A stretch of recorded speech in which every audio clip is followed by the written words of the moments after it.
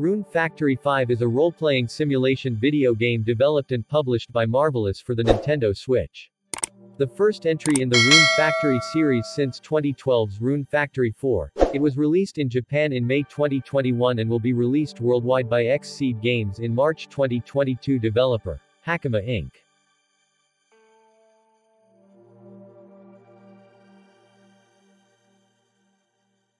Mode. Single-player video game platform. Nintendo Switch Publishers. XSEED Games, Marvelous Inc. Genres. Role-playing Rune Factory 5 takes all of its many influences and presents them in a pleasant and enjoyable package. This could have easily been a disjointed affair, with so much going on at once. But a well-integrated tutorial teaches you the ropes in the form of some simple tasks picked up via a bulletin board. You begin the social aspects by wandering the town and meeting everyone. Then you learn to plant seeds, and sell vegetables. You grow your relationship meter with some NPCs in town. Eventually, you even venture out into the forest for some real-time combat to save one of the town's denizens. Your hub in Rune Factory 5 is the town of Rigbarth. Spread over a big area, it's got all the shops you'll need. A general store, a bakery, a blacksmith, an inn and bathhouse and more. It's a bit too big. One of the downsides of playing Rune Factory 5 for me has been the long sojourns to get to various places I needed to visit. I didn't see a fast travel option in my playtime, and I missed it. The HUD is also small, so if I wanted to get somewhere without wasting time, I had to open up the main map fairly often frustratingly. It seems like some of the coolest characters in the village are destined to be undateable, a Viking blacksmith with 20 abs, a glasses-wearing doctor who tests her experimental medicine on herself, and a very, sorry, mommy, nine-tailed fox lady. Maybe they'll open up to me as I get deeper into the game. For now, I've got my eyes set on a shirtless beast man and a wolf girl who literally does not speak English. Soon into your first few in-game days of Rune Factory 5, you're tasked with diving into your first dungeon. This is where you first get to dig into the action RPG combat of Rune Factory, which has always been one of the most exciting elements of the series to me. Early into the game, combat is simple, but still a huge step above the basic fare of Stardew Valley. Attack animations are crisp and fluid, and locking onto enemies and dashing around them to dodge attacks feels super satisfying. On normal difficulty, the enemies and even the end of dungeon boss are hardly a threat. Hopefully, as the game progresses, foes start to move at a speed that's faster than, barely moving at all, and bosses are a bit more intimidating. At this early stage Rune Factory 5 promises to be a great new farming life experience, if my opening impressions are anything to go by. Minor snaffles are there, for sure, a couple of framerate dips and some frustration with placing furniture in your bedroom due to a lack of grid snapping, but I'm hoping the pros far outweigh the cons and Rune Factory 5 delivers a substantial step up from the previous game as I continue playing as I've already said, the main focus of Rune Factory 5, more than anything else, is to just do what you want. The trademark Rune Factory leveling system is in place, meaning that literally, everything you do in this game has its own skill level. So, whether you're into chatting up the townsfolk, slaying monsters, or just sleeping your days away, you're guaranteed to improve.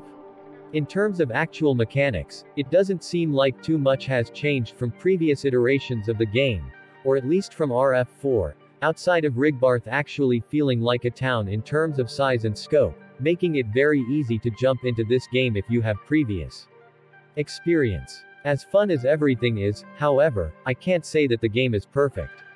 The biggest issue that I've run into so far concerns the game's frame rate. Being someone who plays a lot of games on the Switch, I can't say that I particularly care about everything running at a silky smooth 60 FPS, but I do expect the game to consistently maintain a decent frame rate, which Rune Factory 5 does not always do. On top of this, the game has some noticeable issues with pop-in. This is especially bad when you change into a loading zone that's right by your farm, but I'm trying to stay hopeful that that will get fixed in a future update. There's a lot going on in Rune Factory 5, and it can all feel like a mashup of seven different games. But it's all connected through a delightfully addicting Skyrim-esque progression system. As a member of Seed, I have loads of skills, and I level each of them up just by practicing each respective one. I improve my fighting skills by killing enemies with my longsword, sure. I also simply walk, or throw items into faraway chests to upgrade my walking and throwing skills. Sometimes, a single farming session can get me multiple upgrades. There's even a sleeping stat that goes up if I get my character to bed on time. Rune Factory 5 incorporates safety nets for many of the dumb mistakes I used to make in past games. It prevents you from using items like seeds or cooking bread at inappropriate times, which essentially saves you from wasting them. I did smash through a shipping box while chopping a tree trunk that spawned beside it. Still, it's mostly an idiot-proof game when it comes to wasting items. Some of these things carried over from Rune Factory 4 and its remaster for the Nintendo Switch. It also improves on quality of life additions from past titles like more fast travel locations than Rune Factory 4, and guide markers for major story quests. Fans can also expect returning fan favorite features like riding monsters, expandable inventory, and item stacking.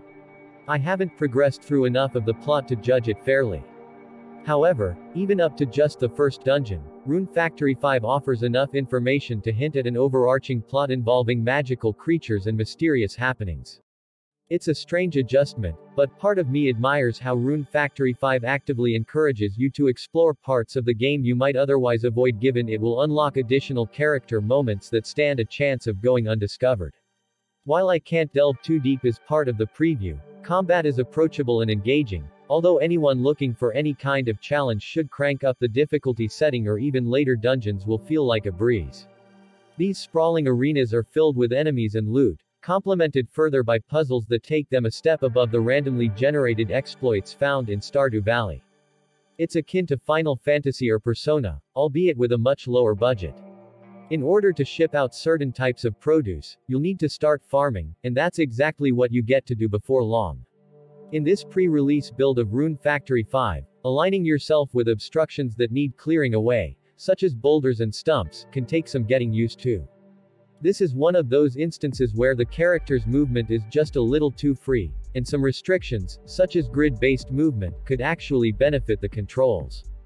But there's a helpful new feature where your character will move forward one tile if you continue to press B, the button to use your held equipment. Once you've aligned yourself, you can crush nearby rocks in quick succession, or till soil straight down a line and then turn around and promptly plant seeds right back down that same line. The biggest difference is the world in which you're doing all this. Rune Factory 5 is the first fully 3D Rune Factory game, and I'm not convinced it was a good or necessary change. Environments are sparse, character movements are loose and imprecise in the field, and it seems poorly optimized as well. Exiting a building drops the frame rate exponentially for a few seconds, and it even struggles to keep up with camera movements in busier parts of Rigbarth. Whether it's by design or accident, even enemy movements seem off.